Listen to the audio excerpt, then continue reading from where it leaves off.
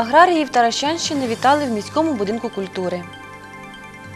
21 листопада у приміщенні районного будинку культури провели заходи з нагоди Дня Гідності і Свободи.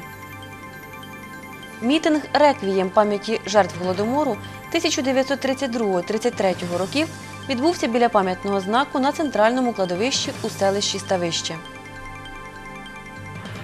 В районній бібліотеці для дітей провели тематичну зустріч пам'яті невинно убієнних в голодні роки.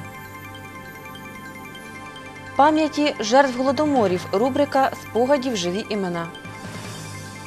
У Тетіїві вшанували пам'ять жертв голодоморів та політичних репресій. Як разом відстояли інтереси Тетіївської громади.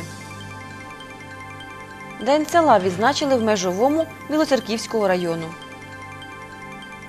Свято православ'я на честь архістратига Михаїла та очолюваних ним янголів Господніх відзначили в селі Богатирка.